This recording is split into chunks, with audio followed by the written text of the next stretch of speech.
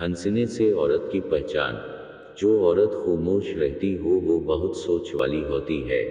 जो औरत ज़्यादा हंसती हो, वो मर्द के दिल पर राज करती है।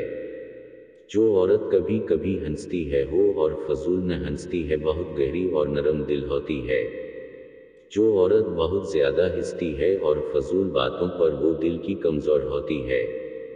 जो औरत कम हंसती हो, वो अंदर से दिखी होती है। हमारे YouTube चैनल में आपको तमाम मालूमती वीडियो फ्राहम की जाएगी।